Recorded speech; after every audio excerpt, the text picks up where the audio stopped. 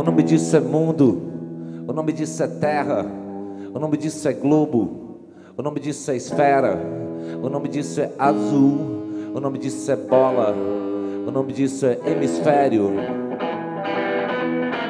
As possibilidades abertas pelas novas tecnologias são muitas, mas dependem de um novo olhar descentralizado, colaborativo e criativo. Os aparatos científicos estão aí para quem quiser aprender a usá-los. Inovação, criatividade e sustentabilidade são palavras-chave para o século XXI.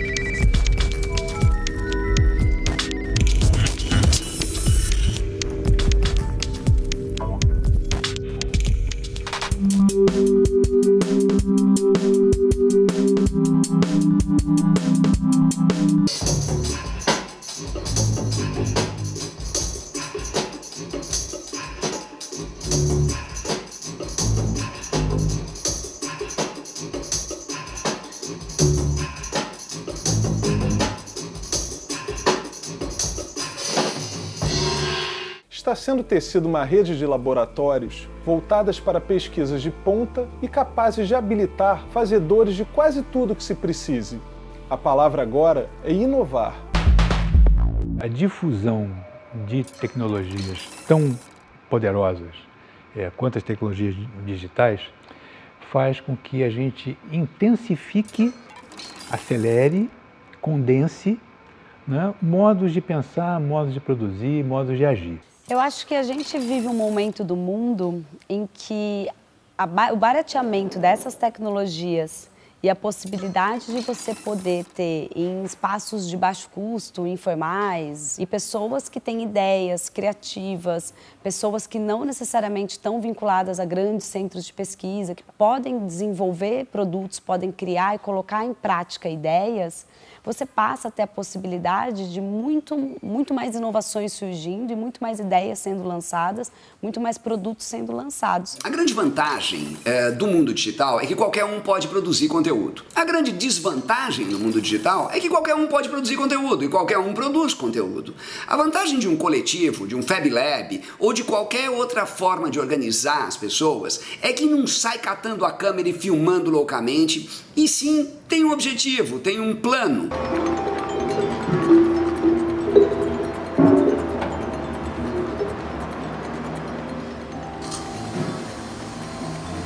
Each object being anything, being a, wall, being a ventilator, being all of them to me they have a sonic potential and then is to bring all these elements into this space and make them uh, work together. It's like counterpoint is a spatial counterpoint.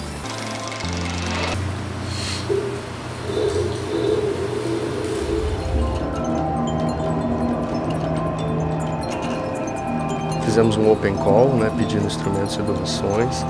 Tentamos apresentar para as crianças oportunidades ou potencialidades dos instrumentos. O Luca já tinha assistido o workshop em si e o que, que tinha resultado dessa história. Fab Lab é um tipo de makerspace é, que partiu da criação de um projeto específico dentro do Centro de Bits e Átomos no MIT. O que eles fizeram lá foi chegar num protocolo, o que, que é necessário para você criar um centro de produção de manufatura a partir de fabricação digital que te permite construir qualquer coisa.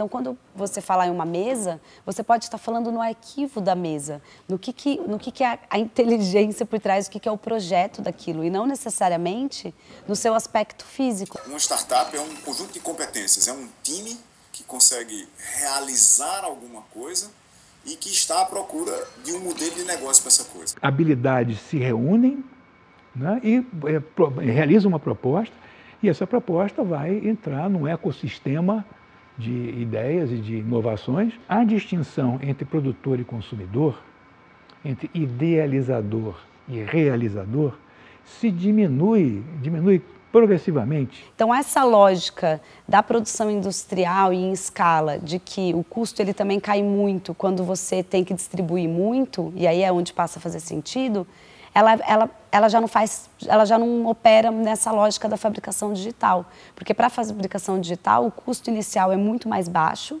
mas ele permanece sempre o mesmo. Então isso significa que possivelmente você passa a falar em centros locais de produção, que não faz mais tanto sentido você distribuir na escala como a gente vê hoje.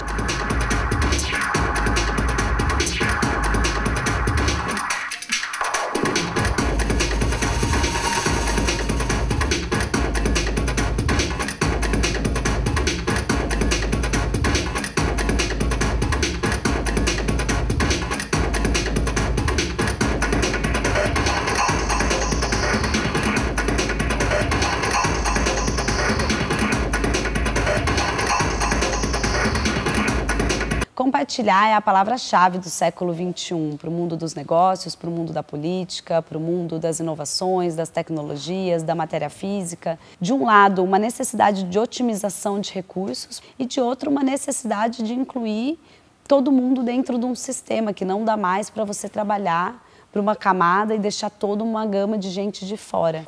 A gente tem no Portital hoje mais de 260 empresas, uns 20 ou 30 startups, o número de startups é sempre muito variável.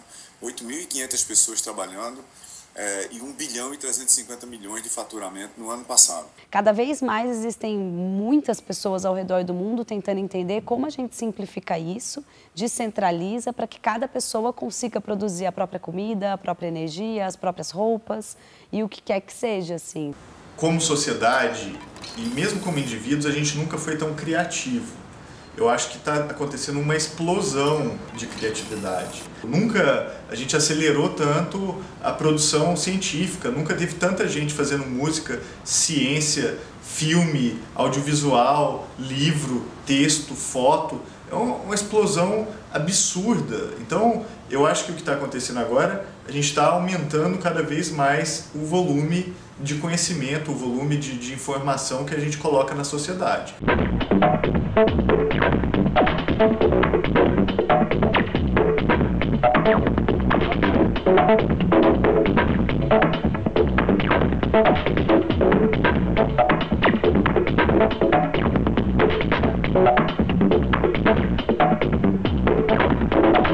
a gente olhasse para a vida muito mais como um experimento, né, tentativas, onde você erra e aprende e passa para o próximo nível de execução é, do que você uh, do que você quer fazer, com um pouquinho de competência a mais do que no nível anterior, em função dos seus aprendizados, isso é fundamental, a gente ter essa espécie de, de vida baseada em experimentos.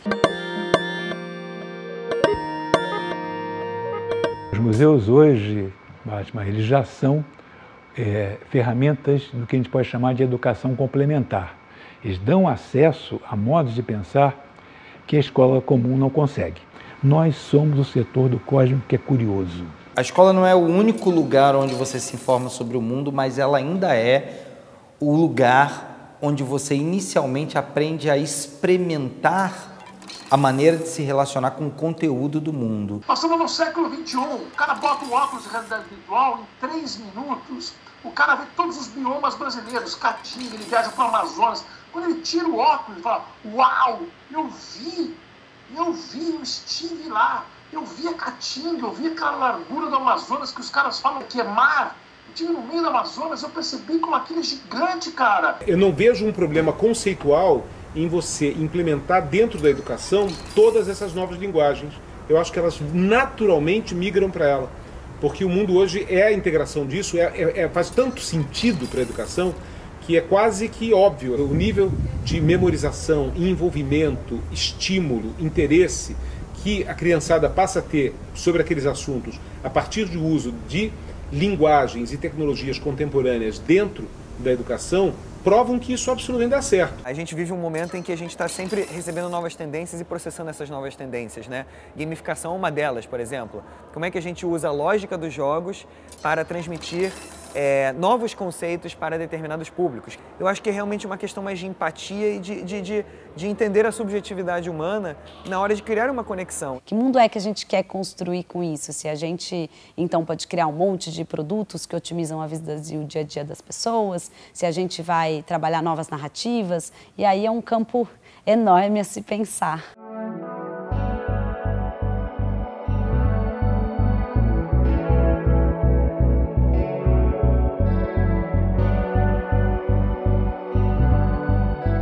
A nova tecnologia é uma prática.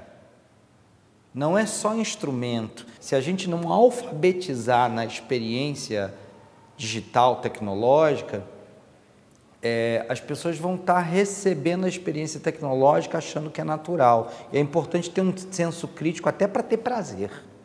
Não existe prazer sem senso crítico.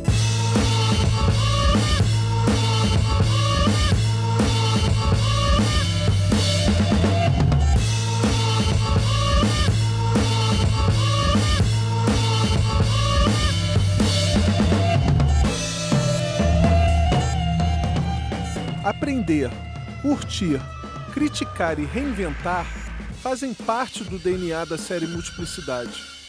Até a próxima!